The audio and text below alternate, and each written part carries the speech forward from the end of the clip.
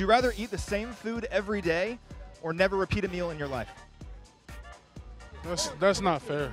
I mean, clearly, based off my size and statures, that's just an unanswerable question for me. Um, I mean, I guess I'll go with a different food every day, but it's just I don't know. I don't know if I'll be able to manage with that. You can ride one animal to practice every single day. What animal would you ride? Lion. Why a lion? I'm a Leo. I firmly believe that I have a spiritual connection with a lion. So, um, you know, I just think that that would be probably the ideal fit for me. And last question: What player can you do the best impersonation of on the team? Um, you know, I'm a, I'm a man of many impressions. I'll probably say maybe Chris, Chris Jones, a couple other people, but I do a pretty good Chris. Can we see the Chris one? Little preview. Yeah, man.